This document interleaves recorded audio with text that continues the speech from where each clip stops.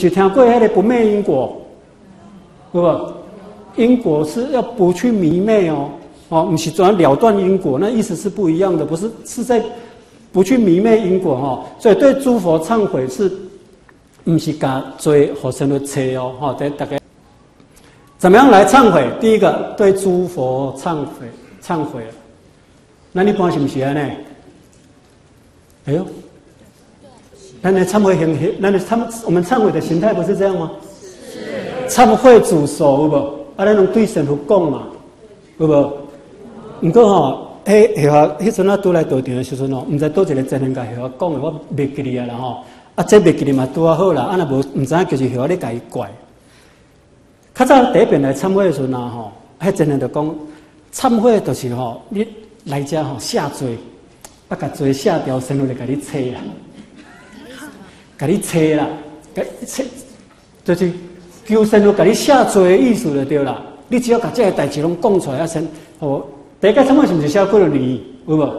比如讲后三十岁忏悔，我就写十四年嘛。有无？咱是十诶，十八是十六岁嘛。啊，三十岁忏悔是毋是写十四年？啊，搁写几个月安尼嘛？哦，你做一个忏掉安尼，互神父甲咱安排安尼。这个观念敢对？你甲做拢写拢互生活，啊，互神父替你找安尼，是安尼吗？毋是啦，对吧？这是一个毋对的观念哦。咱今日参会的时阵，咱是毋是有做财师，有做道人，有做啥嘛？对吧？即这物件，其实你是用即个建功立德的物件去弥补家己的罪过错才对哦，对吧？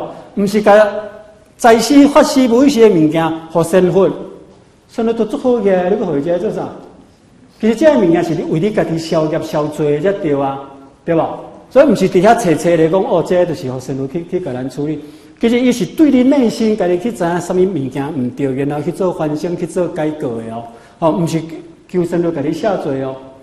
应该讲不只是这样啦，仙佛当然会帮我们安排嘛。那即嘛末法时期，三期末节做三分，补七分，这嘛神父甲咱讲的。确实你做上有甲伊补七分啦。